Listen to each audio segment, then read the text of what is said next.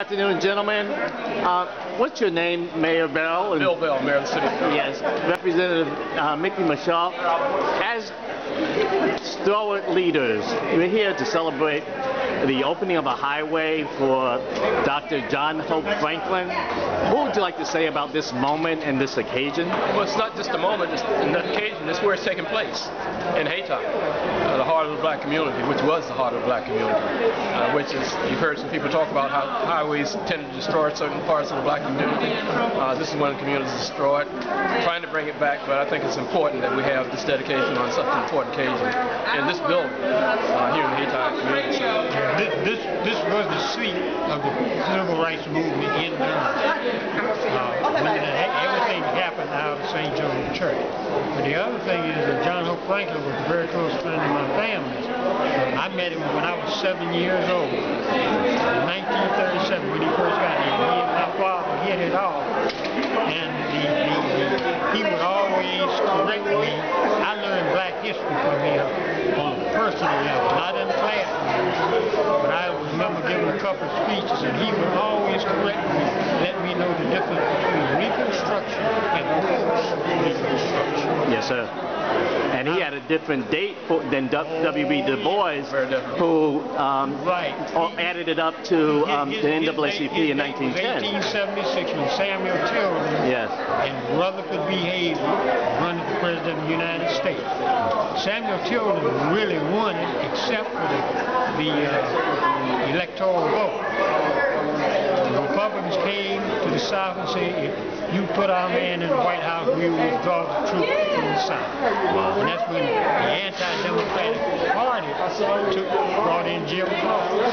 If we think about um, Dr. Franklin and his Mirror of America, we think about you and your as seasoned leaders and auspicious leaders, and we think about civics today, what's some advice that you would have for young people in Durham in high school and college, going to school, and you know what kind of civic uh, advice would you have for young people today? Read his books. That's the best place to go. Read his books. What he's saying is learn your history.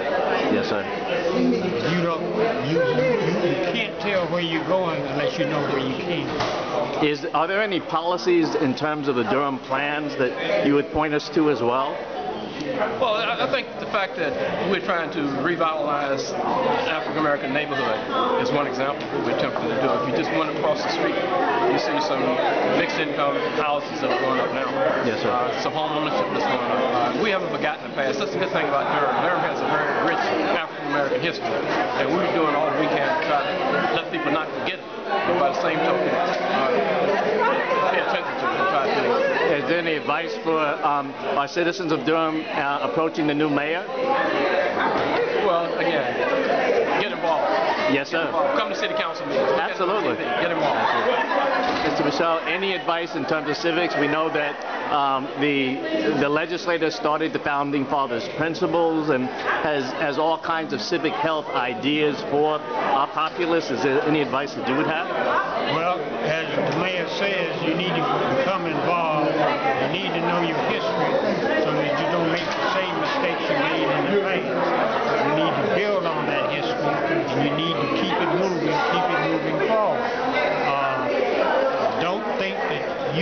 You are today, that you've always been there. And don't think that you can't go back. Because the way the, the, the viciousness that we're seeing in the political scenery today leads us right back to where we started from.